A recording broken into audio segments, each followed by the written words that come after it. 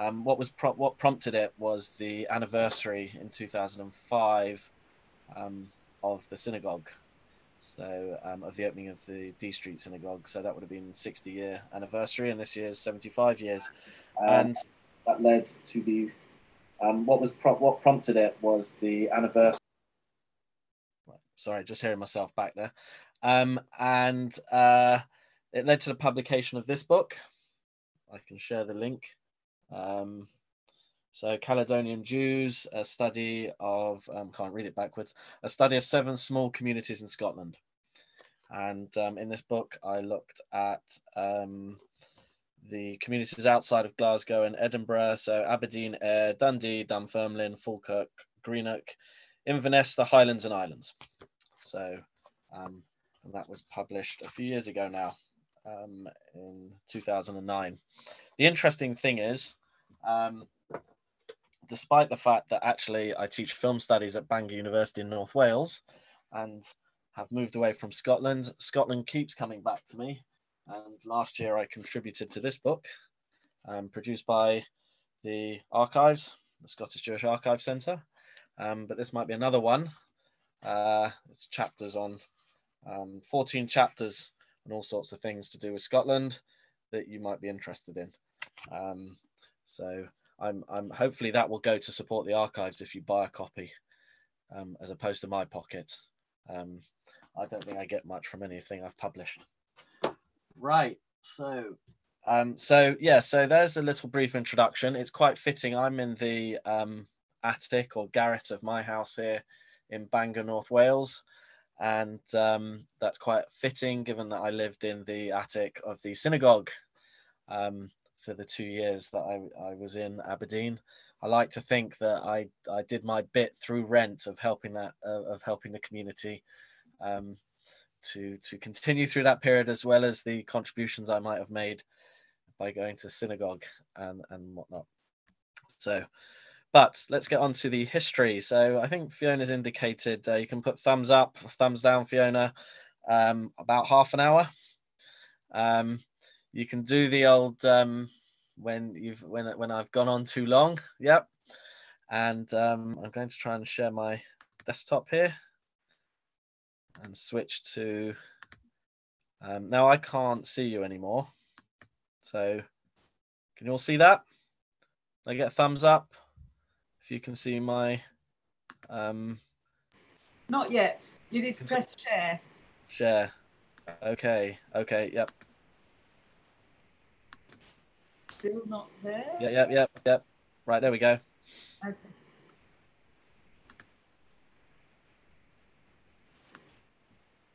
Okay, I can't see you now, so um, don't worry about that. Uh, Just a, and just a hint, if you if you if people click on at the top of your screen where it says you're viewing Nathan Abrams' screen, where it says view options, you can click on side by side mode and you get to see the speaker and the and the picture if you want to. I don't, I don't have that. That. Okay, can you um, can you just indicate you can see an image now of uh, the Aberdeen Jew? Yeah.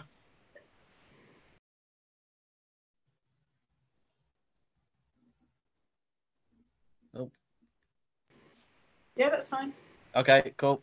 Right, so um, I can talk about this book. This is a um, book I came across talking about the shared uh, stereotype of the Aberdonian um, and uh, and the Jew. I'll, leave you to work out the link there, but I think the text at the bottom explains it all. Um, this was a book of jokes produced in, um, if I remember rightly, in the early part of the 20th century, and um, probably wouldn't be published today. Anyway, so um, just to give some history of um, what I came across in terms of um, the link between Jews and Aberdeen, there's been lots of rumours and conjecture about uh, whether there are any Jews in Aberdeen um, before the 19th century. And um, there's been various accounts, all unconfirmed and unverified, of um, Jewish Jewish inhabitants to Aberdeen. Um, in the 14th century, for example, there was a Thomas Phil Isaac, a Thomas son of Isaac, um, but again, no proof. Some other um, authors have talked about a Judaic colony um, in Aberdeen that was expelled, um, but we have no um, suggestion of Jewish inhabitants in, in Aberdeen prior prior to the last few hundred years um, despite rumors of them. But I will turn to this one. This is interesting. Um, this is a um, letter. Oh, you can read it. You can read the screen there. Um, um, so Cecil Roth, the great um, historian of British Jewish history, places the first record of Jews in Aberdeen in 1665 um, when reports the effect that a bark with silken sails and cordage, cordage manned by a crew speaking only Hebrew had been sighted off Scotland. Um, what he seems to be referring to here is this a new letter from uh, Aberdeen in Scotland. Um, you can read the title there. And um, in this in this letter that was sent to a person of um, quality in London, um, they purport to have witnessed a ship arriving in the in the port of Aberdeen um, with sails with white branch satin sails emblazoned in in red word uh, in red letters with the words "These are the ten tribes of Israel." Um, and then, as the letter goes on, a large party of Jews dressed in black and blue and with stores of rice and honey. The professor of tongues and languages from the university was sent for and he determined uh, that the crew spoke Hebrew, and that the um, and that the um, those on board were bound for Amsterdam. Now, um, I'll, I'll flick, show you some more images of this letter. Uh, give you a chance to look at it. You can see, um, you can see on this uh, on the right hand side about the tongues and languages. And um, on this page, it talks about these are the 10 tribes of Israel and their stores of rice and honey. Now, you know, there's two ways to approach this. Number one, we could say it's completely a work of fiction.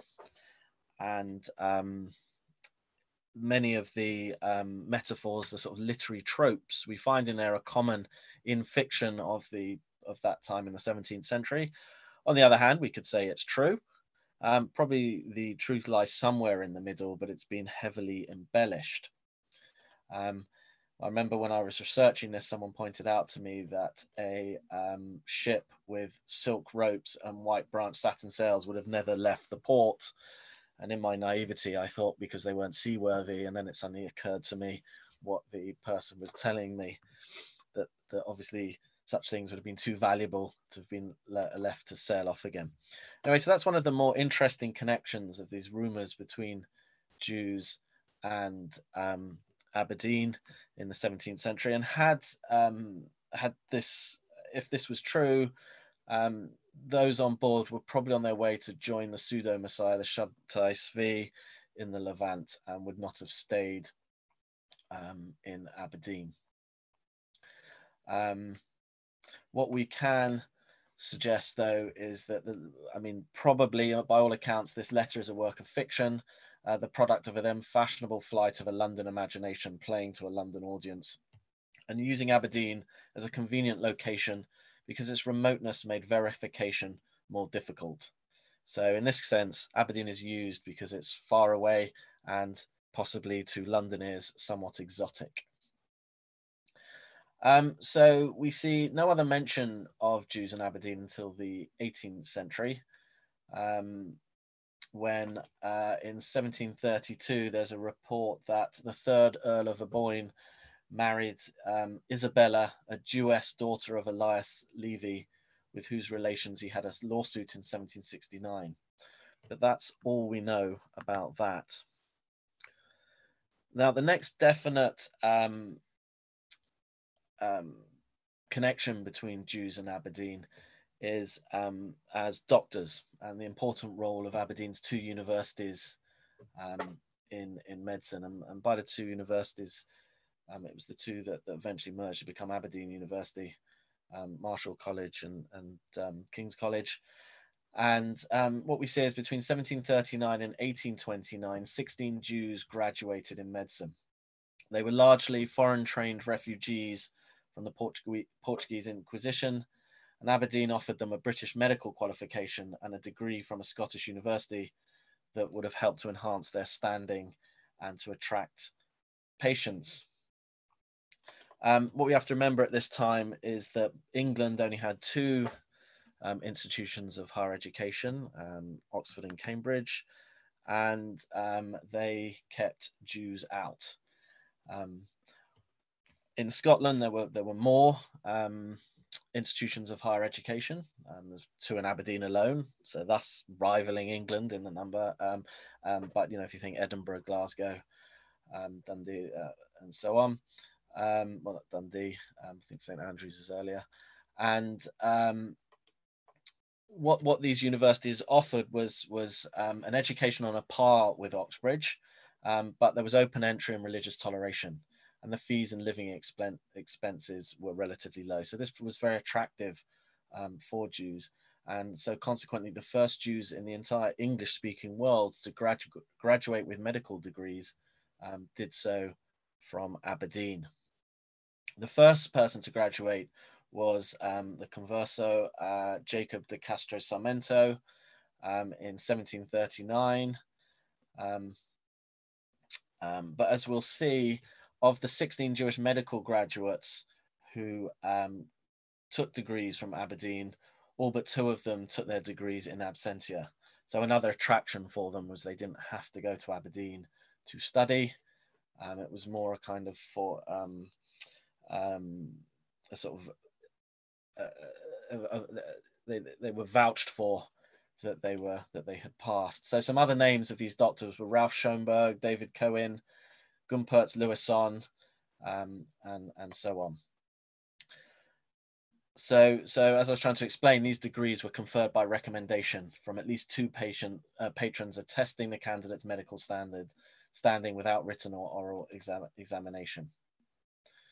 Um, so, so although there's a connection between Jews and Aberdeen, we don't see Jews uh, moving to Aberdeen. As a little postscript, two of the um, doctors turned out to be um, quack doctors. Um, one of them, uh, one of the affidavit, affidavits from two Liverpool doctors for one of these individuals were possibly forged, and um, but he ended up making a fortune in Liverpool selling his patent medicine, the cordial balm of Gilead. He also sold a nervous cordial um, and sexually explicit writings on the dangers, prevention, and treatment of, of sexually transmitted uh, diseases. Now, the first two uh, bona fide Jewish medical students who did move to Aberdeen um, was um, so here's some pictures. I jump ahead there. Were Ernest, Ernest Henriquez of Kingston, Jamaica, who came um, and graduated in 1898 and then left to practice in Lancashire um, although his daughter Stella studied, remained and studied in Aberdeen, graduating um, with degrees in 1923. So that's when we get the first kind of solid connection of Jews moving to Aberdeen. Um, but again, this isn't a community um, as such. When we do see the kind of um, beginnings of a bigger community uh, moving is in the 1840s. I mean, this is kind of true. I, um, we see the same thing in Bangor in North Wales, um, when, um, say, Jews from Germany or German speaking Jews uh, begin to move to the UK. Um, and the Aberdeen Directory for 1840 to 41 listed H. Rosenberg and Company, manufacturing, furriers, and importers of foreign skins at 115 Union Street. Um, we, we know about them. One of the ways that we know about Jews who move to remote places is through court cases. And we know about these two because they were um, they were accused of willful fire raising at their shop premises. And whilst we can't confirm uh, that uh, they were Jewish, this is Harris Rosenberg and his wife, um, wife Alethea. The um, their first and last names certainly indicate a high probability of them being Jewish. Another Jewish um, um, person in Aberdeen at the time was M.A. Levy, a tailor, clothier, and outfitter who was listed at 26 Union Street um, during 1849 to 1850. Um, Alfred Edersheim, born in Vienna in 1825, arrived in uh, Aberdeen, um, um but he converted to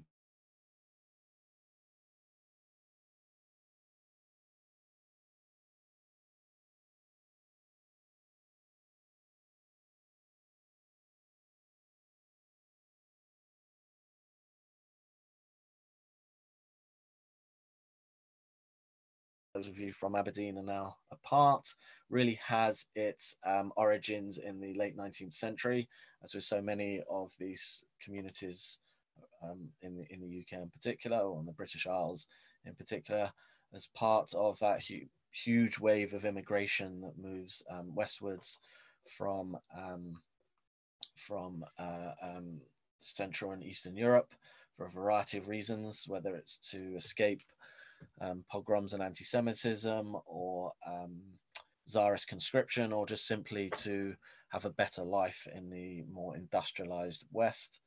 Um, and that's when we see the origins of the Jewish community. So by the 1881 census, um, we have several Jewish families. Isaac Barnett from Russia as a master picture dealer living with his three children. Um, Myers Barnett from Prussia same profession um, with their um, children. Samuel Dreyer, and I could go on and, and, reel off some some more names. So we see as the sort of nucleus or a kernel um, of the community in 1881.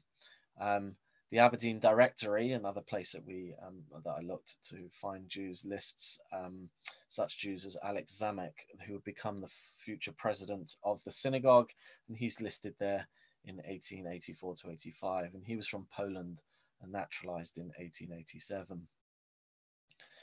Um, so, according to reports um, from that period, from the late 19th century, Although religious concerns were central to Aberdeen's Jews, they were a small group and, a quote here, with very few exceptions of the poorest class. So a synagogue was not immediately affordable. Um, they may have met to worship in private um, or in somebody's home, but we don't have any evidence of this. Um, and evidently, um, and as is typical with many small communities, I, I'd estimate there's a 10 to 15 year lag between the sort of origins of a community in terms of the people arriving and the um, ability of that community to raise enough capital to open up a building um, or to, to acquire suitable premises in which they can worship. Um, so in the fall of, so it didn't happen until August of 1893. So we're talking like I said, about at least 10 to a dozen years after we see the first arrivals, the first, you know, sort of serious arrivals, as it were, um, when in 1893 they took the plunge and found suitable premises and the formal um, first formal community and the formal community was established on the 7th of September um, when the synagogue was um, consecrated at 34 Marischal Street. And there's a shot of the building at least as it was in circa 2004, 2005, 2006. Um, I don't know if it's, I think it was still there when I visited a few years ago. Um, so what we have is a, um, as we can see, as typical again with small communities, it's not purpose built. It's located in two rented rooms on the first floor of this house at 34 Marischal Street, um, at the end there, and opposite Trinity Quay um, in the dockyard area of Aberdeen. It was described as, and I quote here, one of the lowest quarters of the town. A later congregant recalled the overwhelmingly fishy smell that would blow in off the fort, off the North Sea. It cost four hundred pounds, and because the congregation consisted of eight members, of whom only five can be looked to for substantial support, the community looked to wealthier Jews in London and the provinces for financial support. Um, The Jewish Chronicle at the time reported that the synagogue has been furnished in a handsome manner and presented a bright aspect. So, no mention of the smell there. Um, and as I mentioned, Alexander Samek, Alex Samek, became the synagogue's first president um, of this congregation. And whilst I was living there, we discovered a whole bunch of um, notes and minutes and things in the airing cupboard, um, which were copied and uh, with the Scottish Jewish Archives. And they have um, lots of interesting sort of details and anecdotes um, about the community. Not not in its entirety. Some of them have been lost. Some of the minutes have been lost. But that's where I got quite a bit of this information from. So a provision was made for a minister, the Reverend James Lippman. Uh, charitable and welfare organisations were set up to assist poorer Jews. Um, and the General Assembly of the Scottish Church, who were trying to convert Jews, um, and poor Jews were always a good target um, for them, noted that Aberdeen's Jewish poor are well cared for by their own rabbis and the better off people. So this meant that, that they weren't as susceptible to conversion um, than perhaps those who weren't as well cared for. And we also see a keen interest in Zionism. A shekel group was formed, um, and Aberdeen's Jews brought, bought six shares in the Jewish Colonial Trust, um, which was a financial instrument um, established by Theodore Herzl um, to promote colonization schemes in, in, in Palestine. Um, so um, we we have the um, so then the next interesting thing that comes up again, like I said earlier, that one of the ways that we discover um, we discover um, about Jews is through court cases, and uh, in shortly after the opening of the synagogue, um, the uh, local branch of the Society for the Prevention of Cruelty to Animals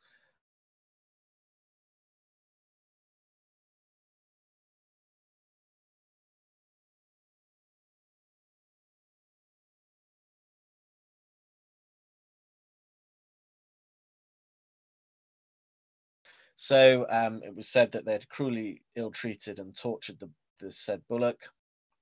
Um, and um, the, fortunately for, for them, um, the judgment was dismissed. And uh, obviously, what the society um, was referring to was the method of shechita, of, of Jewish mode of slaughter. And um, the, the court ruled that, that, that this had been properly and skillfully carried out.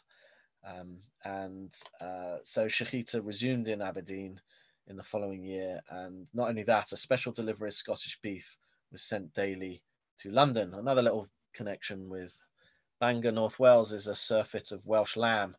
Um, was also sent to London from Bangor, some kosher slaughtered lamb. Um, I can talk more about that, but um, as, as, as, time moves on, um, so you know there's some discussion about whether that um, that court case was was motivated by anti-Semitism or, or actually genuine concern for the welfare uh, of of the of the animal. Then what we see in the next few years is, in terms of religious terms, is that um, is Aberdeen's Jews, and it was alluded to in the introduction, couldn't afford um, uh, always afford a permanent rabbi. So they had a series of visiting ministers on short-term contracts as a very, very fairly typical practice in the school at smaller communities. Um, and we see a succession. Lippman stays for several years. He's succeeded by Morris Cohen, who's then replaced by Ahi Hershowitz, who's then um, replaced by Ostroff. Um, oh, there's, um, I think that's the Jewish Chronicle for you. I'm trying to, this should be the advert for Welsh meat in there. Um, there we are. Uh, there we can see the advert of a delivery of meat from from um, Scotch House. By the way, as I can't see you, when you want me to um, finish, you're going to have to do it verbally, Fiona. So I'll, I'll, leave that bit of information with you. So there's the advert. That's fine. At the moment, it's still riveting. Thank you. Okay, still. um, so you can hopefully you can read that. I can I can't make that bigger. Um, let's close my update from Haaretz. Um, right, we'll talk about um, these chaps. Right. So one of the reasons for this high turnover of um, of uh, um, ministers is the pay was notoriously low. Um, it's been suggested by one historian that this reflects a lack of respect for religious leadership um, rather than the lack of simple funds. Um, but what this meant was that those who were engaged as ministers in, in, in Aberdeen had to supplement their income by doing other things um, in addition to um, um, leading the congregation. So they had they had to kind of multitask. Um, they had to um, be the, the, the minister, they they teach the Hebrew classes, and they had to slaughter the animals, and they had to perform the circumcisions etc etc I, I, would make jokes but i can't get any sense of reaction so about one hopes they didn't get their duties confused in that respect um, now the thing that really interested me and it still interests me is um, is aberdeen um, kind of is an outlier not just geographically but in british jewish history for remaining um, one of the few small communities that, that continues to survive as others are, are closing. I mean, I'm not sure what Dundee's official status is. I think last I heard they were very close to closing. Um, I might be wrong, so I apologise if I've got that information incorrect. But um, as a formal community, the fact that Aberdeen still survives um, when really the only other communities and um, formal communities tend to be in Glasgow and Edinburgh, and we see the same in England. In Wales, there's uh, only in South Wales and um, Llandudno has a synagogue, but that's owned by Chabad, um, not by the community. So, so the thing that's always intrigued me is how Aberdeen has managed to survive um, and and as a community, and it's had its ups and downs, but it's still sort of ploughed through. And the, the, theory I sort of came up with was what we call a revolving door community, is that that losses in terms of numbers were balanced. So outgoing numbers in terms of people who either passed away or left were not necessarily they were, they were balanced by incomers. Um, so maybe not to the same extent, but there were enough coming in that a community services minyanim could be maintained. And whilst um, Aberdeen has never offered large scale employment for Jews and the community was never large, um, it's offered enough employment opportunities to attract incomers. And I think that's a part part of the secret to its survival. It's not the only part, but part of it. Um, so if we were to look at numbers in 1896 to 97, we're looking at 12 seat holders. Um, although the Aberdeen Journal reports 50 present at inaugural Jewish New Year services in September 1893, um, and the community community was sizable enough to merit a visit from the then chief rabbi in 1896. Um, by 1907 to 1908, the community almost doubled to 23 seat holders. Um, and but that by that point, the 1905 Aliens Act had reduced the numbers of Jews entering Britain, and so this would have limited further growth in Aberdeen to in, uh, uh, uh to internal migration only. Um, in 1913, a cemetery is founded um, when a portion of the Public Grove Cemetery was sectioned off for use as a Jewish burial site. I do have some images of that actually. I'll just flick through these. Um, uh, they'll, they'll come later on. I'll go back. There we go. Um, so um, that was quite important because up until that point, without a local cemetery, um, people had to be buried um, 150 miles away which you can see creates its own um, issues. Um, so the um, cemetery was secured in 1913 and um, and um, continues, um, I believe, to, to today. I, hope so.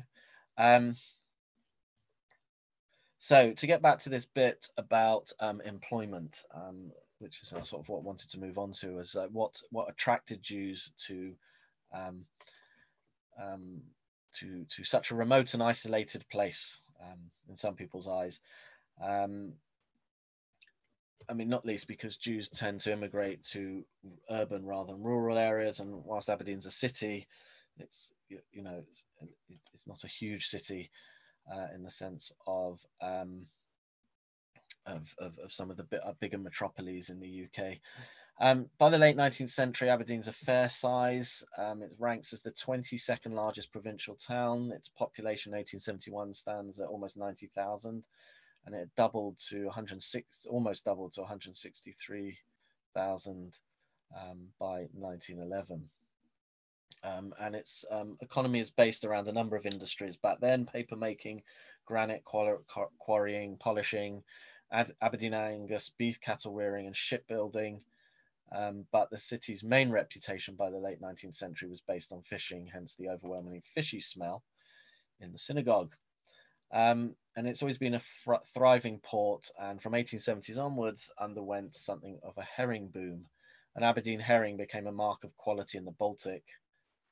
Um, um, in 1882, the fishing industry was transformed by the arrival of the first steam trawler. Um, white fish stocks um, began to be um, exploited. So as you can see, as, as trade flourishes, there's a need for subsidiary industries, um, both to supply um, the supply chain to the fishing industry itself, but also to supply the workers in uh, other more general needs. So that's one of the reasons that would have attracted Jews to to the area.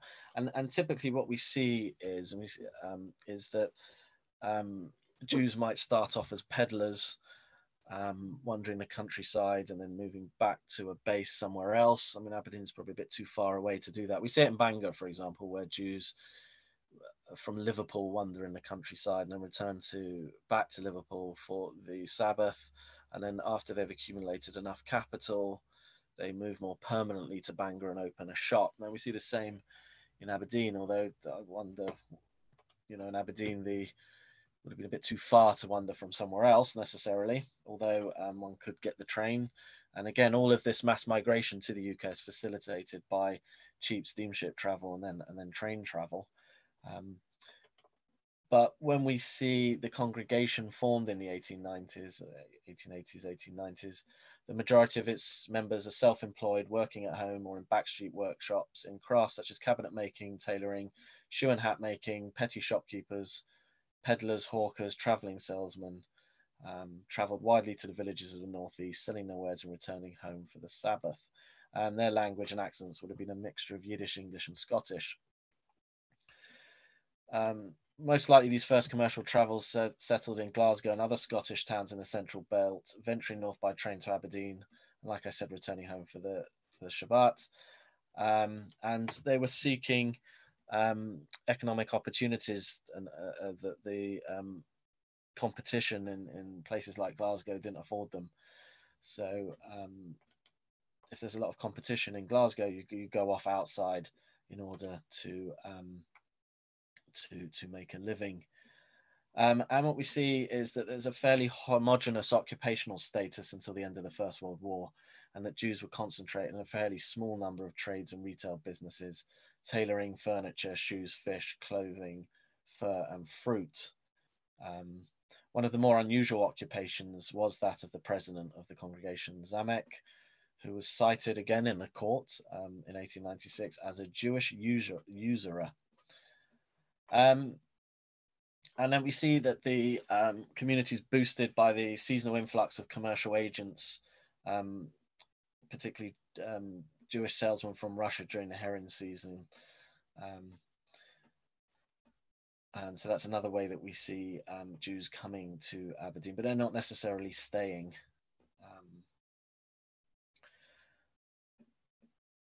One example of, of a family, um, as, as they're on the Skype call, is that some pioneering Jewish peddlers didn't stop at Aberdeen, um, but used it as a base for going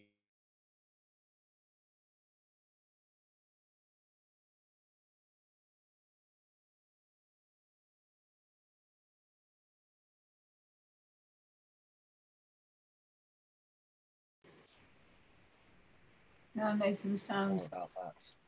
Nathan, we didn't hear that last bit. Up, up to where? Mm, the last few sentences, couple of sentences. Okay. Is that I was talking about the Greenwald family. Okay. If you unshare yep. your screen while you're not talking to the screen.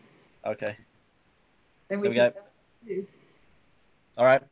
So, um, so whilst some people move from um, Aberdeen, moved to Aberdeen. There were some who used Aberdeen as a base for going even further afield, and that includes the Harry Louis Hyman and Wolf Greenwald, um, who travelled from what is now Belarusia to Glasgow and then Aberdeen before settling in Lerwick. But you'll hear more about that in a future talk, I, I believe. Um, so after they landed in Glasgow, they trudged along dirt roads to Aberdeen, attempting to sell jewellery along the way and picking up the occasional lift on farm, farm wagons. And then they um, took the boat to Shetland, where they eventually settled. Um, and we see others um, who made their livings trudging um, along the roads of Shetland who also arrived from Aberdeen. Julius Quint. Um, again, find out about some of these people through court cases. Now, what I want to talk about was um, what the next slide referred to as professionalization. So this this immigrant, this first generation, um, in these kind of working class occupations, um, it was their children who kind of benefited more. And um, in between the two world wars, we see um, some. Um, we see some. Share my screen again. We see some.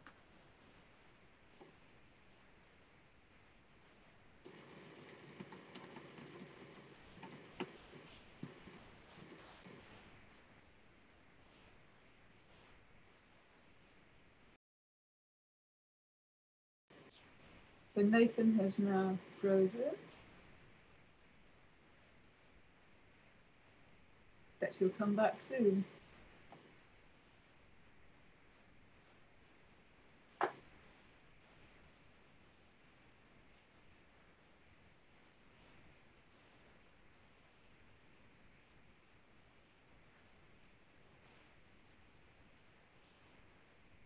So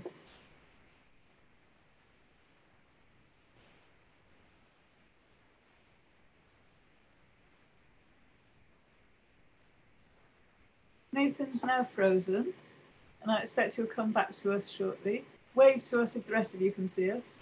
Fiona, Fiona, Yes. um, I I don't know very much about Zoom, but I do know that if you have a multiple one like this, there's a 40 minute limit on it. Would that be, uh, and you have to reset it? No. Would that be the case for this one? no, that's not the case for this one. That's not not if you All have right. You have a pro paid for one. But thanks. Okay, that's fine. It's another thing, which is that Nathan Nathan's internet isn't very good. Yay. um, so we've got some questions um, already down here. So I expect he'll be coming back soon. The questions that I've seen are um, I'm going to put them in the chat again. The chief rabbi was a trustee of Aberdeen Hebrew congregation. Do we have any thoughts as to why that happened? Did any members of the Jewish community hold public office in Aberdeen and what contributions did they make to civil life? Did we come across a family called Bittina Bootmakers? Fascinating. And then, um, so I'm going to put these questions down here for everyone and then maybe some other people. It looks like Nathan's back. Nathan's back. That's great. Where is Nathan? I'm here. Sorry, I got kicked out there. Yay, welcome back. So can we see you Um, in the spotlight? be able to. Good. I can see me and I can see you. Great. Um, Can't see your face. If you don't share your screen, then we should be able to see your I, no, it- it's gone into the default. Um... no. Yeah. Yeah, we can see you. Okay. So Okay. I was about to, yeah, um I was Any- just about to show you some um just the the um hopefully No, that's the Zoom. You've just there we go. Can you see a picture of a cinema? Yes. Um so what we see between the wars is the the community becoming a bit more sort of bourgeois, a bit more well-to-do. Their children are able to benefit from university education, and they begin to branch out. And um, this fits into what I'm hired to do at Bangor, which is teach film studies.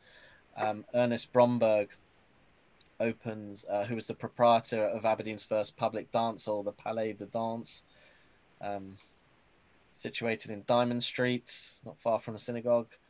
Um, as an avid cinema enthusiast, he began to hold cinema orientated uh, events there from 1926, and he opened Aberdeen's first news cinema in September 1936 until 1963. Um, other Jewish professionals also arrive in Aberdeen, such as Bennett Teff in 1936, a civil servant in customs and excise. And um, I, I, was going to show you this picture here, um, is because, um, like I said, um, as Jews um, became more economically successful, native Aberdonians, uh, Jews, uh, began to graduate from university in entering such professions as medicine, law, and teaching. Um, but this then has a negative impact.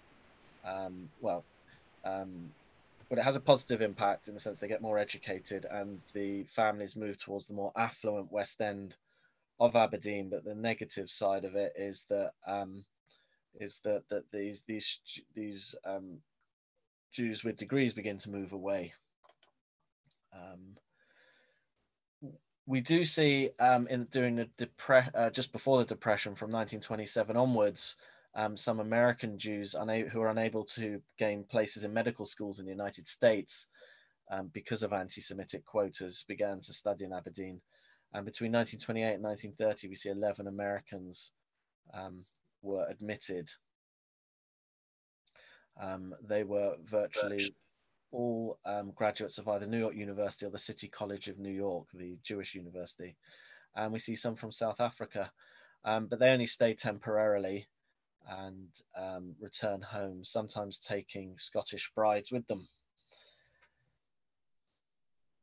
Um, so um, the character of the community in religious terms is by and large East European Ashkenazi. Um, there's never been a strong I mean, there have been Sephardim in um, in in Aberdeen, but it's never been um, a kind of Sephardic community as such. Um, we see in just before World War II, um, uh, after the. Can you um, turn off your sharing when you're not talking about this picture because it's nicer to see you. Okay. I think you're the first person to ever say that. um, so what we see in 1936 is a trickle of German Jews um, begin to come to Aberdeen. Um, in 1938, the Aberdeen Refugee Committee was established and, and instrumental in bringing a number of Jewish families to Aberdeen. Um, one of those was uh, one of some of those were the Kress family. Um, other notable figures include the eminent philosopher Emil Fackenheim and his father Julius, um, very famous um, post Holocaust philosopher, Emil, Emil Fackenheim. He spent two years in Aberdeen um, and uh, apparently picked up a distinctive brogue, which he never lost um, for the rest of his life. We see others, Peter Landsberg, um, Rudolf Schlesinger, and the educators, Kurt Hahn, Karl Koenig, uh, amongst others. And um, they set up um, the Gordonstoun, Gordonstoun School, founded by Kurt Hahn, which I'm sure you all know about, and if you didn't, I'm sure you've seen it in The Crown. Um, and the Camphill Rudolf Steiner, Steiner schools were um, established by Karl Koenig just outside Aberdeen. So another interesting sort of um, um connection there with, with, with, the history. Um, what I was going to move on to was um, if, uh, if I share my screen here is so in 1945 the community has grown to such an extent that um, a new building is warranted. And part of the reason for the growth of the community during World War II were um, evacuees, refugees, and other military personnel who were either moved to Aberdeen or nearby. Um, and we see a boost in the numbers of the community um, um as Jewish service personnel who are in, in some of the numerous bases in and around Aberdeen uh, and northeast Scotland are um, in, invited to synagogue services and into people's homes, um, such as uh, Ernest Bromberg's dance hall. And obviously, this led to liaisons between the service personnel and members of the local community.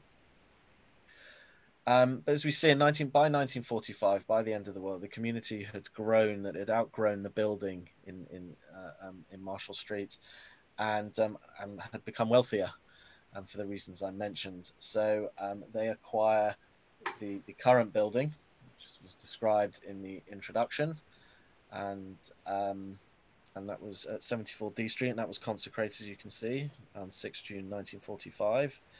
Um, you can see the uh, opening of the order of service there. Um, and a um, what I find fascinating is you see this through accounts of um, synagogue services is that they attract a lot of interest in the local press, and non-Jews often um, show an interest in attending, and there's usually a long description in the in the local paper. Um, so that's where we've got um, quite a bit of detail um, about that, and again, the kind of vibrant cultural, social, cultural, as well as religious life continues post-war, and we see a literary and social society, a WIZO, um, a ladies' guild, um, and um, amongst amongst other things, um, are, are, set up in the post-war era. Um, the first permanent rabbi was established in 1956, um, and that was this is this is a this is a rarity for a small community. And the Aberdeen appointee was Dr. Gustav Pfingst, who was from Germany, um, who studied under Rabbi Leo Baeck.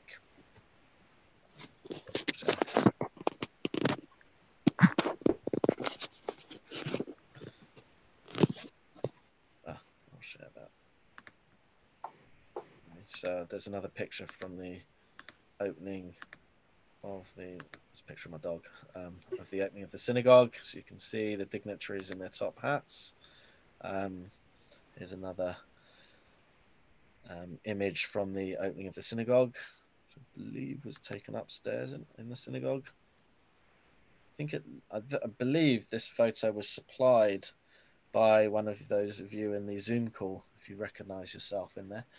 Um, and there's an example of the Seder that um, I believe this is you, Pauline Terrett, in there. Um, and, and you supplied this to me probably at least a decade ago now. Is that is that you there? Um, you have to unmute yourself, Pauline. I think it's you, Pauline. I might be wrong. Um, but this is the Seder. Um, you see, very nice, lavish affair. No plastic. Um, um, uh, held upstairs in the synagogue and an example of this um, um, of, of this communal life that we see in Aberdeen in the post-war era. Um,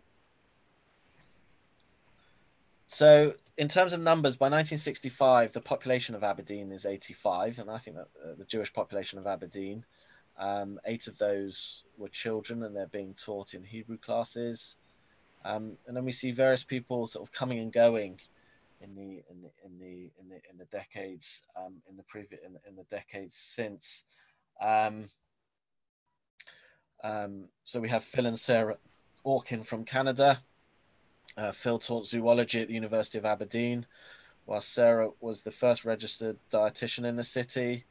Um, they they led the services in the seders, and their house became the focus of the community um, where they, they invited in students as well. Two of those students were Valerie and Frank House from London, um, who visited Aberdeen as part of an academic conference in 1963. And they later returned to study in Aberdeen and stayed for five years when Frank became a lecturer in pharmacology and statistics at, at, at the uh, Aberdeen Medical School. Um, so, what we see is one of the reasons that I said earlier was the continued survival of this community. Um, is because of the ability to um, um, attract people um, to to Aberdeen and the, the, two universities and various other industries, particularly the oil and gas and oil and gas industry, um, was was one of the reasons for why Jews um, came to Aberdeen, also the hospitals as well. Um, just trying to um, look through. So, um, like a five minute warning now. Yep, yep, that's good. Um, I was trying to think about at one point, I think there were three, no less than three Jewish helicopter pilots ferrying oil workers back and forth to the rigs. Um, so, um, I mean, I've tried, you know, in, in the book, which was published 2009, that's where I took it up to. Um, although I've kept abreast of events since, but more from a kind of um, personal, curious interest rather than um, an academic one. Um, but as I said, if you want to buy loads of copies of that and um, get the uh, get get the publisher to ask me to update it, I'd be happy to do it. But you know what we can see is is that I mean my perception was from 2004 onwards there was something of a mini revival back then, but things building aside, and I can be corrected, is and I'm only reading through the emails, is that the community seems to have sort of, in a sense, gone from strength to strength in the number of activities it was holding, it's holding, compared to the activities that were on offer when I was there for albeit two years. You know, a book club and and, and visitors, Rabbi Rose, coming up quite often and doing the Purim service and and um, various bar mitzvahs being celebrated and bat mitzvahs in different different um, according to different religious sort of styles, um, and and it's been interesting to follow the community in in that sense, in the sense that that in the years since I've left, uh, not not that there's seems to have been quite a lot of activity, um, at least judging by the email lists, um, unless they're written for my benefit as the historian, but I don't believe that. Um, so one of the reasons I mean I think to sum up um, is is Aberdeen's. I mean, as I said, I, I'm intrigued by this. If we, you know, North Wales, there's one synagogue and it's not owned by the community. Aberdeen is kind of surviving against the odds, and and I'd attribute that to two things. One, it's this sort of revolving door um, community, the ability to attract new people into the area um, through large employment opportunities. Um, on the one hand, but also it doesn't matter how many Jewish people you have in an area, you still need the commitment of a few core families and individuals to keep things going. Um, so um, it's really a tribute to those people over the years who've um, invested that time and energy in keeping things going, um, in, in, keeping events and turning up, ringing around, um, whatever it is they had to do. Um, I mean, one of the tricks I always heard was that um, if a Jewish man had married out and you wanted a minyan, you rang his wife, um, and she made sure he turned up. um, this is one of the anecdotes uh, uh, uh, I was told. So, so you know, I mean, I have a, you know, I suppose I'll get personal here as my conclusion. I have a lot of fondness for Aberdeen, and it's a shame I had to leave, um, but that was not my fault. That was the that was the then head of school who decided he didn't want to keep me on. But um, it, it's nice to see that, that things have continued, um, um, and, and you know of this of which this one event is an example. Um, I think at that point uh, I can try and answer anything I haven't covered, um, but I think that would be a good place to stop. Fantastic. So I'm going to um, unmute you for two seconds. This really doesn't work well, but I can unmute you and do for you to do a little bit of a clap. There, hang on. Unmute all. Oh.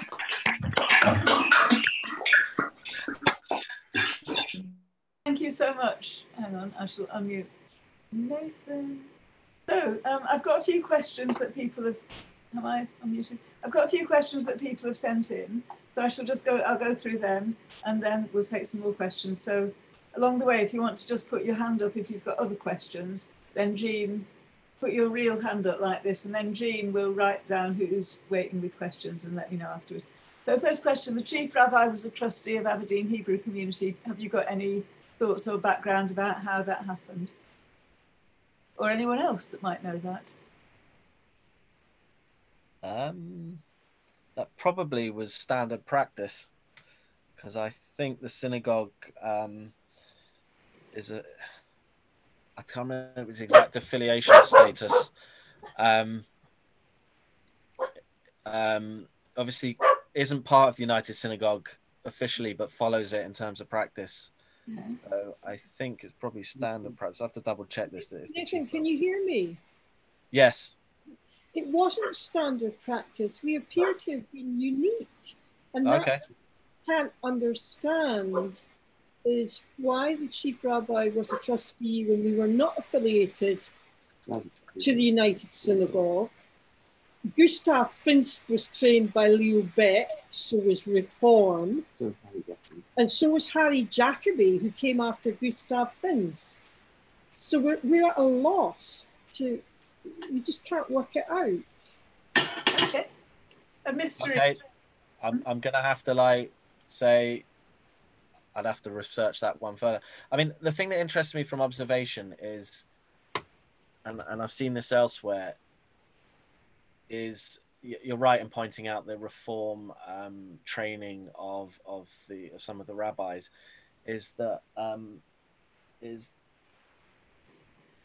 is is there's fairly looser practices adopted by smaller communities in terms of trying to maintain a community. I mean, that, that's there's a flexibility there for two reasons. One, Jews have got more rigid um, as we've got closer to the 20th and 21st centuries.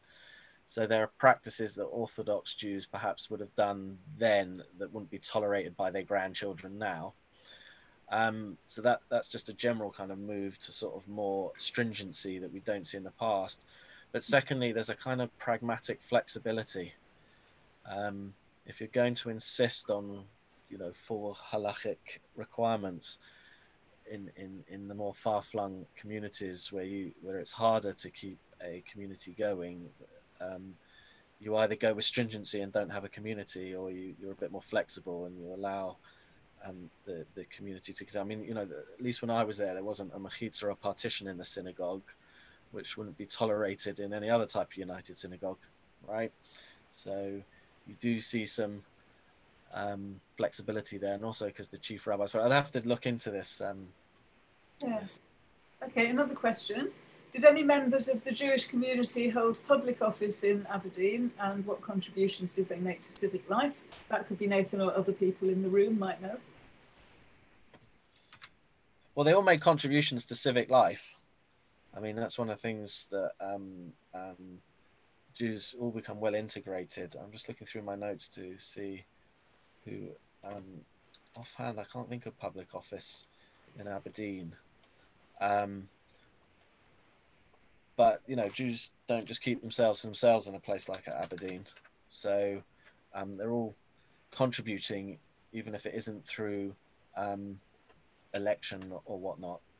Um, but I can't. I haven't got in my notes anything about elected officials or that kind of thing. Okay. Um, and then there's a couple of name name checks that you might know or other people in the room might know. So, did you come across the Bittinger bootmakers? Very well to do. Were in Aberdeen at the 1911 census, and their daughter Elsa married Mark Wolfe from London in Edinburgh in 1907. This is from Gillian, who's a marriages in Edinburgh expert. Uh, so, Um, Can I say something? yeah, go for it. Yes, no, no, just that they they were intriguing because they they were obviously doing pretty well, and they got a husband from their daughter from London, which showed you know that you had to be pretty doing pretty well to do that. Um, I wondered if they had been had anything to do with the synagogue. Bittener was their name, and a lot of them hung around Aberdeen. A lot of them married out, but another one one or two married in Edinburgh. Mhm. Um, I have in my notes in 1909, Leopold Bittener won second prize in the Christmas competition of the Club. Following year, Louis Bitten, Louis Bittener was united. His answer to the previous question was unanimously elected as the candidate for Aberdeen Parish Council. Yeah. Ah, very good. Become the Yes. vice chairman of the local ward committee. Um, so yes, I do. That name does ring a bell, actually. Um, Yes, no, they were obviously pretty well off. I haven't looked out. out they lived. They lived on on the quays. Oh no, no, they had they had a business on the quayside, boot making, and bootmakers were a step up from shoemakers, as far as I could see at that time. I love the fact of the question uh, will answer the previous question. So here's another question. nice. This question. So Somebody came to Aberdeen in 1973 was a student midwife working with an obstetrician called David Abramovich. Was he one of um, one of the community? Um, well, yeah, there's an interesting thing. One thing I did discover is there's always a discrepancy between the different sort of numbers. So I remember looking at census data. Um, I think it would have been about 2001 then. That said something like there's about 150 Jews of birth in Aberdeen, but 100 who put Jewish as their current religion. So that provides one discrepancy. And then, secondly, out of those 100, how many of them um, went to synagogue? Um, and then, how many of them were members? Um, so, so whilst a name like that would suggest that person was Jewish, um, I don't have a record of them in, in my notes here, but um, that might be because they didn't necessarily. The only what I have access to is the kind of communities records, um, rather than the list of every Jewish person that might have been in Aberdeen. So that 150 that the census might have mentioned in 2001. Yeah, that's always in most in most towns with small communities. There's like three times more Jews in the census than ones that the community knows. It's really frustrating. Yeah, and then there's those, you know, whether you might pop into synagogue, um, or and but you might ne- never become a member, so you're not really on the radar. Yeah. Another question. Don't know if this would be your ambit. Um, somebody's interested in levels of anti-Semitism in Aberdeen. Um, yeah, I, I, I, I missed that out for time, but um, you know, I called that section a city of tolerance. So, whilst to say that there wasn't um, none, um, I don't think the levels um, were particularly high either. Um, so, while we do see some anti-Zionist and anti-Semitic uh, activity in Aberdeen over the years, um, it's it's nothing like we've witnessed in other UK cities. I mean, it's probably worse in Dundee, right, um, than than um, in the 80s than it was in in Aberdeen. So I d- I don't want to say there was none, but I don't want to over exaggerate it either. I mean, I do remember at the time when I was living there, a swastika was sprayed on a bus stop, which I reported, and um, I remember speaking to the police. And whilst a Jewish person would perceive that as an anti-Semitic hate crime, we don't know whether the person spraying it meant it in that way. So might not even know what it was. And in these, you know, there's a Welsh goalkeeper who gave a Nazi salute and claimed he'd never heard of the Nazis. So, you know. um, but yeah, by and large, the record, um, I'm going to say it's not unblemished, but it's certainly not that of other places. Yeah. Okay. Um, so if anybody else has got a question, please put your hand up and Jean will note who you are and we'll come back to you. Um, if Jean fl flicks through the screen to check whether anyone's got their hands up, or else there's a little hand thing below your name in the um, participants that you can stick up, a little, a little sign. Um, so somebody's saying, um, and I certainly found this when I first started working for SCoJeC 10 years ago and came and did research up there. Um, when I used to go to synagogue in Aberdeen, this me, this is someone else saying, when I used to go to synagogue in Aberdeen, there seemed to be several large Israeli families coming to Aberdeen to work in the oil industry. I don't know if that's still the case. Um, yeah, I mean, you do see Israelis coming. I don't know about the oil industry. They certainly come. Um, um, Israeli students would come to study, and um, there were there were at least two well, three actually when I was there in 2004, 2006, um, and also to probably work in um, either universities or or or, um, or, or, or the hospitals. Um, I'm just trying to I'll have a look through um, whether they're specifically with the um, oil industry. that I don't know. So, so we have uh, one gentleman who's a chef offshore. A lot of the Israelis are actually in the university. Um, the, the, mathematicians or computer scientists. Uh, Ehud knows most of them, I think. Um, but they tend to come to the non-religious activities. So they come to Purim and Hanukkah but don't come to regular services and don't tend to come on Rosh Hashanah or Yom Kippur. Um, there are exceptions to that rule, but that's basically it. I suppose if you're an Israeli and you're coming to Aberdeen, you're probably not looking um, for a synagogue, so that's not so surprising. But they do come sometimes. Might be Um, surprised to find it.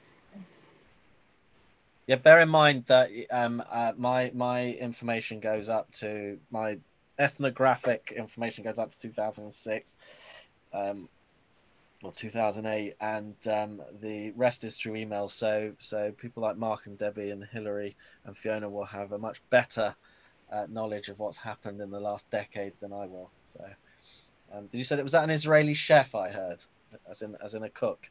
Yes, we have a cook who um, serves on one of the offshore platforms, um, and he's a very good cook.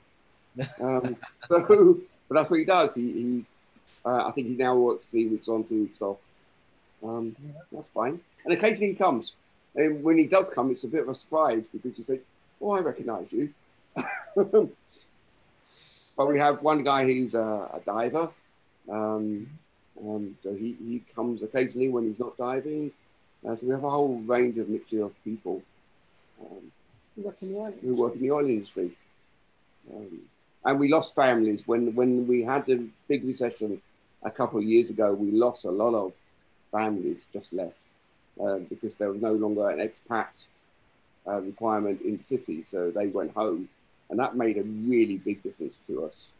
And again, we're going to get hit again this year, so um, it's really is driven by the university now.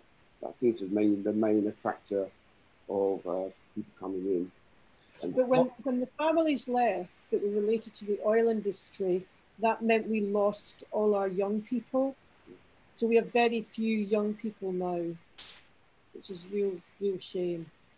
Here's another Go. question that's more um, more historic, more up your street, Nathan. So Evan Becker-Sorsky says, my great great grandmother Julia Levy ran the Aberdeen Fishing Company in Leith, Edinburgh. Do you have any information about Jews in the fish trade in Aberdeen? Um, yeah, I- I mentioned what I did know um, earlier. Uh, I'll, I'll just, um, which is um, so so. Um, the Scotsman reported that during the herring season, Jewish salesmen from Russia um, who do business at Aberdeen, Peterhead, and Fraserburgh augment the resident Jewish community. Um, I haven't come. I mean, you know, I didn't come across. Um, so I'll carry on. In the days before World War One, they were involved with. Um, they're involved in or with the firms that handled the herring trade through Russia, um, through ports such as Riga, uh, Memel, St. Petersburg, and Königsberg. Um, others may have worked or travelled on the fishing fleets during herring season um, including I've one Le- Leon Harris from um, Galicia, um, Galicia. So yeah, that that's that's the information I have on on on, on Jews in the fishing trade. Fab. Okay, so I think we might have come to the quest- end of the questions, and um, it's been fascinating and a really brilliant start to our set of three, um, a very fitting start to our set of three talks, focusing so much on the community in Aberdeen and start so starting off where we need to go on. So maybe we're looking to the next 75 years of Aberdeen community and so this might be the first year of that. So thank you so much to everybody for joining us in these strange times. In these strange times, we seem to be able to do things, you know, there's loads, you know, it's awful and the isolation is horrible and the fact that we can't get together for events is really horrific. And then what's been happening is that we've been able to have these amazing opportunities with 70 people being able to book in for a talk, um, 150 people being able to come to a Yiddish open mic, 300 people being able to come from all over the world to a klezmer concert. And so I wouldn't have been able to get you this many to this many in your audience if you'd just come to the shul. So it's lovely, and also you'd have had to have come all the way from Wales. So it's great. Oh no, I mean when this is all over, I'd happily do this in person. Excellent. So it's been fabulous to welcome everybody to this event. Um, we're going to turn off the um, recording now, and we're going to, and I'll be, I'll hold the meeting open for another 20 minutes if anybody just wants to chat to each other, if you're feeling isolated and want to